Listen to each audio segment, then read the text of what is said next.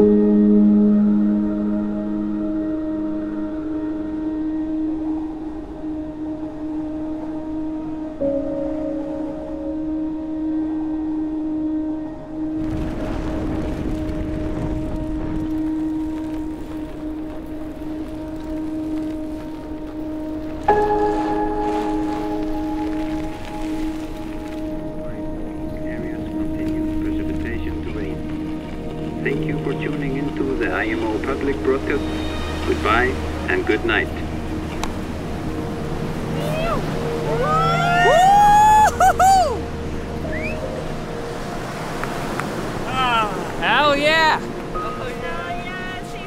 Come to realize that massive rides like this are just something I need. I want to do massive crossings like this all over the world. When we got home, Nicole and I pulled out our globe and just spent hours. You know, what are the places geographically that this makes sense?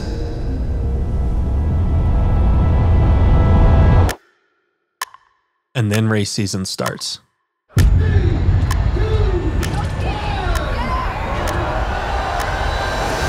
And those dreams of adventure get put on hold for months until the chaos of travel, races, media events, and the seemingly endless tick of that clock finally stops. And then there's time to start dreaming and planning again.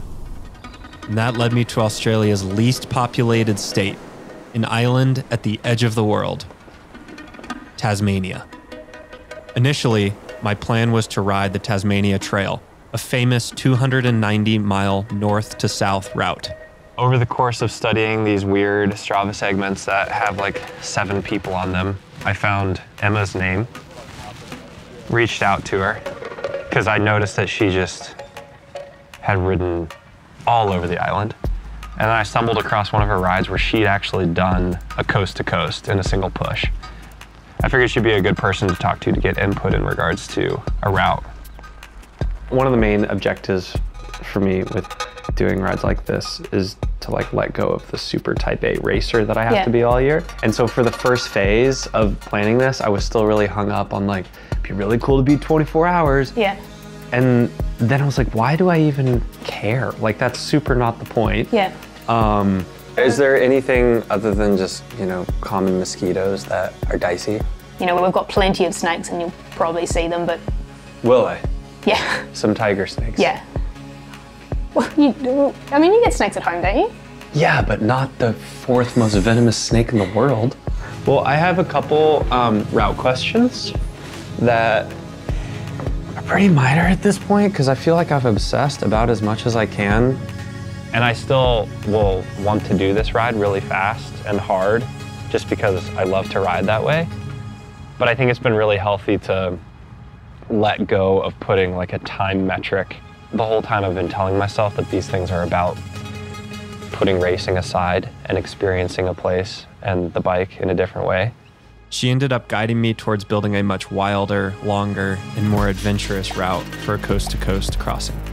Together, we just made a massive route that abandons the FKT aspect of a crossing in favor of more of a best of, starting with traversing the Tarkine rainforest and finishing with 50 miles of the most famous single track in Australia.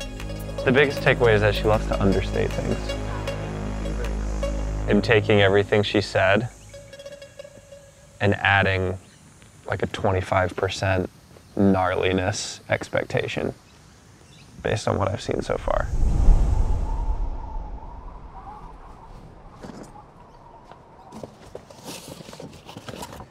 Some of Tassie's finest.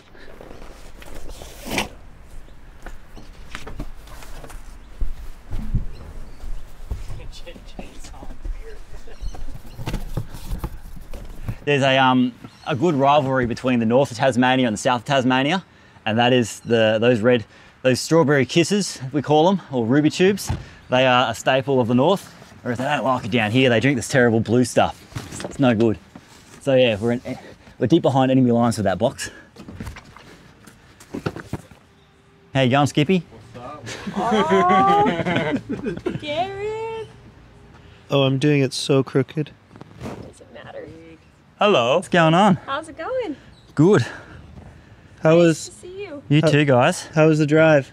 Oh, oh, road road works. Did um did Emma hit, word you up? She's a classic bike packer. Just Yeah. nothing is hard to her. Yep. She basically told me this route's easy. Which I call bullshit on. Worst case, I think it'll take me nine hours to get to Waratah, 18 hours to get to Deloraine, 30 hours to get to Derby. And those are the three places I could refuel. So it's kind of tricky in terms of like I'm for sure gonna have refuel points, but how much do I want to rely on them? Iceland, I was like, it was definitely an adventure and it was a really cool thing to see, but it was for sure pretty athletically driven still and performance driven. This is way more a survival mission. Like there's just so much out there that could go wrong. So much out there that could go wrong.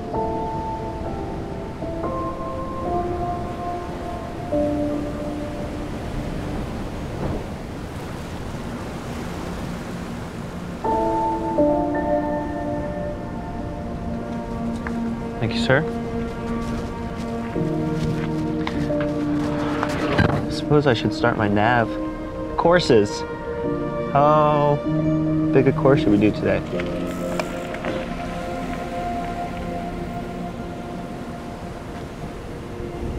I cast my pebble onto the shore of eternity to be washed by the ocean of time. It has shape, form, and substance. It is me. One day I will be no more, but my pebble will remain here, on the shore of eternity, mute witness for the eons that today I came and stood at the edge of the world.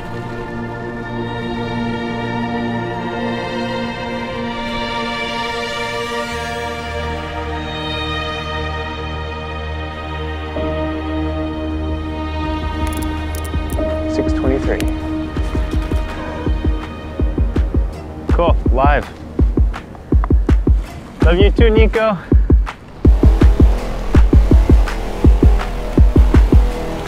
The longer I race, the more I realize what a narrow experience that is. Like, it's so confining to just have your entire bike experience.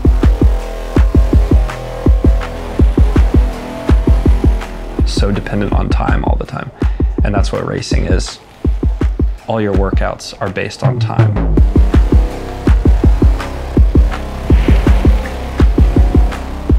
The result sheet is based on time. All of the obligations you have outside in a given race weekend are based on time. Minds that are kind of at war, like the one that's been a racer for so long and the one that wants to experience the world. And one of the main reasons that Tasmania was on my list of places I wanted to do something like this is because I've been to Australia and I didn't get to see it at all. Flew in, I think I was here like five days, had a super shitty race, was really depressed about the way I raced, and I flew home. Like, I didn't have the faintest idea what Australia was about. I was feeling pretty high and mighty for the start because everyone, including myself, was adamant that this route could not be done in a day or less. I pretty intentionally was trying to let go of that dumb, arbitrary delineation time wise. But I was sitting on 15 and a half mile an hour average before dropping into the Waratah Snake Pit, and I was like, 14.9 average is a 24 hour crossing. And I was like, what if I just blew everyone's minds, including mine, into this in a day? 90 something miles, 95? This is 98, 98 and a half miles, six hours and 50 minutes. Yeah, I just got to get through the snake pit, the Waratah snake pit. Um, and right up here is where I saw the big tiger snake a couple of days ago, so I'm definitely a little on edge. What the fuck? That's why I took my glasses off. Oh my god. what was that? They're the same color as the ground. Oh my god. That puppy weighs at least four feet. fuck. Okay. Ah!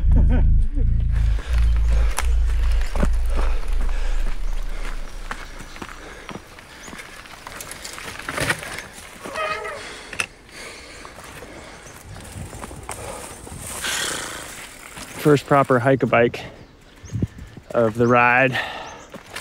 May not look steep, but it is.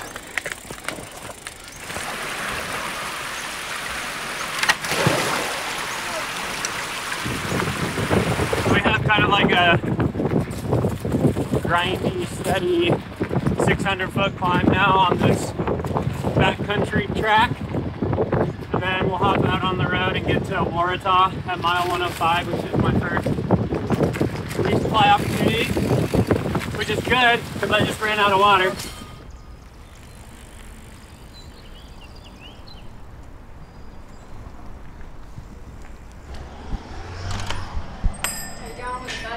We're doing it, having fun. Something salty would be clutch. So if the Deloraine grocery store closes at 10 typically, might they close at 8ish or something, you think? I very well might. So I normally shut at six, seven o'clock, so. I should maybe get more food. See ya. Thank you. Thanks again. One thing that I appreciate about this one, as opposed to Iceland, for example, is Iceland was incredibly accessible by vehicle almost the whole time. So there was a vehicle within sight probably half the ride. That was very different with this one. I spent the majority alone, and I mean, there were three, four, five hour periods where I didn't see anyone at all.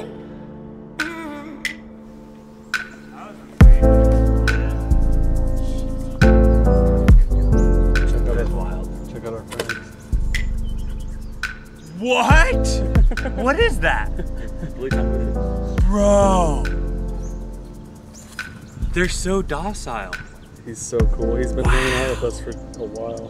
What a legend. All right, I'm gonna keep going. I don't know if this store is open till 10, but it's gonna be close. Get up. See you, buddy.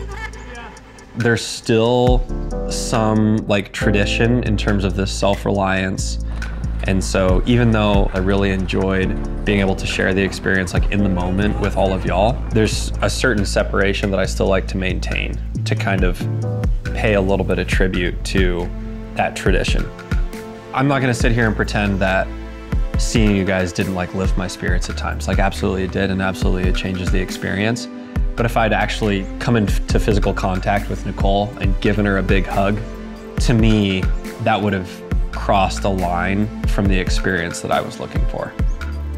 A hug is what you do when you've finished a long journey, you know? So I guess that's why I wanted to save it. All right.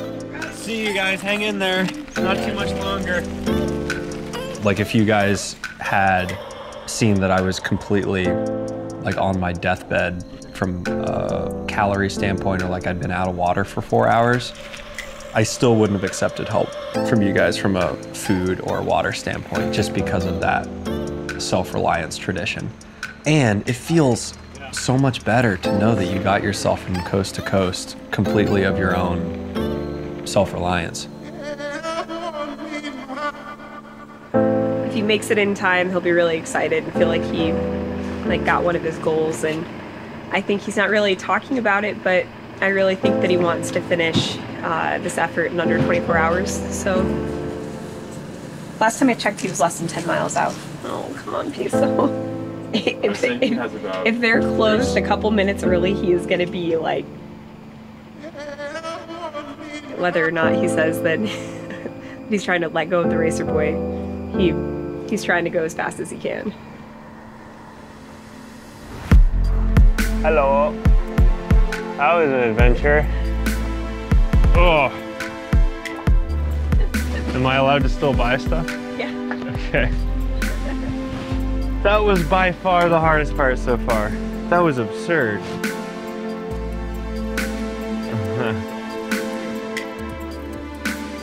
Hello. How's it going?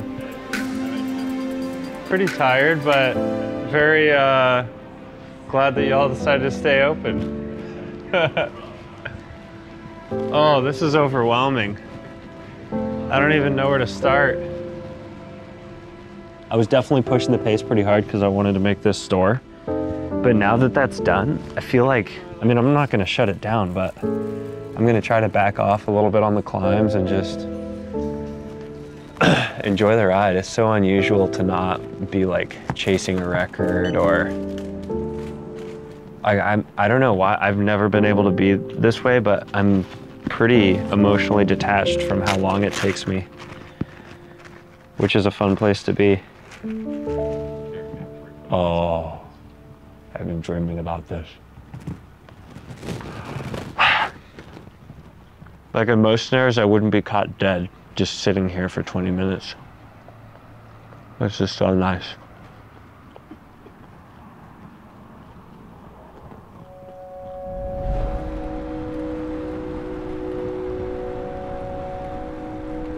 As an athlete, there's a big like ego streak that I know I have that I think probably most athletes have. Maybe it's even something you have to have, I don't know.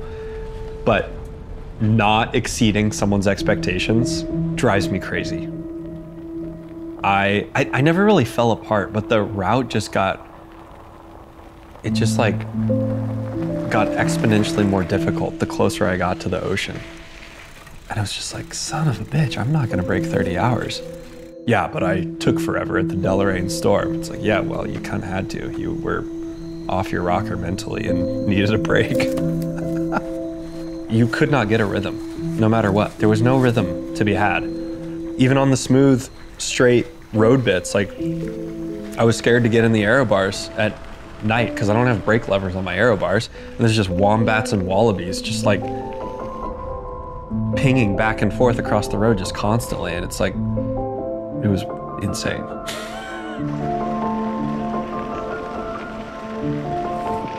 Dawn. Made it. Made it to Tuesday morning. Now just to finish off these last oh 80 miles, 70 miles, and 7,000 feet of climbing. The hardest part of the route is the last climb, of course. These big personal challenge rides, these crossings are almost an opportunity for self awareness that I don't get anywhere else. And that's why I think, like for now, I'm getting away from the FKT thing, the whole fastest known time thing, the pressure of time on a bike in general, because my racing career is that. I hope people come here and do this ride or others.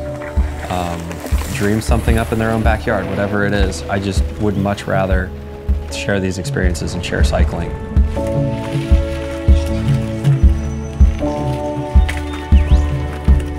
Even though I'm incredibly exhausted, the last, almost all of the last 50 miles of my route being single track is an incredible reward.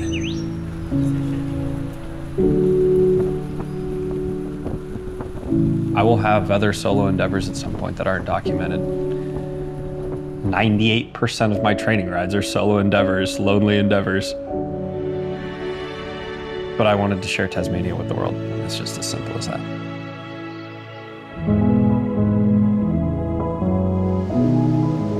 I have a list of places geographically that I'm interested in.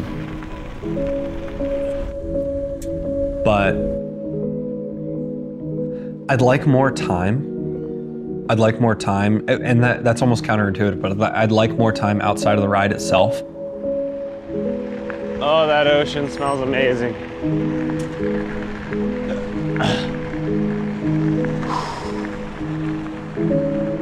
I mean, these are just like life highlights, and it's it. I don't know that it's often the case that like you you have a life highlight and you know in the moment you're like, that's one, that's a life highlight.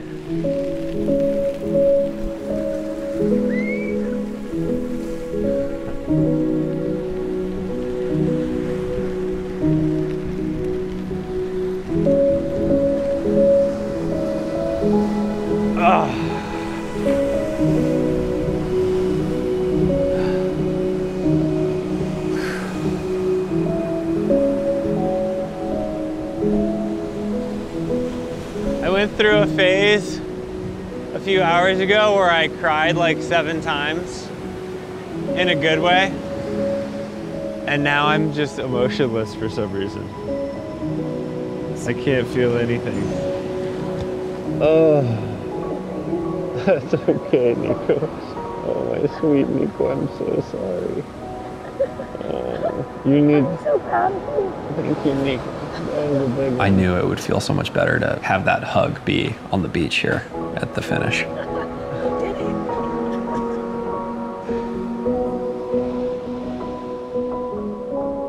A lot of times it takes a few years to look back on it, but I don't know, it just feels like such a treat to just have the privilege to like line something up and be like, yeah, let's uh let's plan a life highlight mission.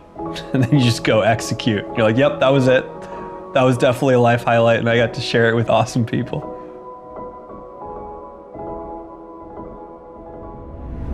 What's the next one?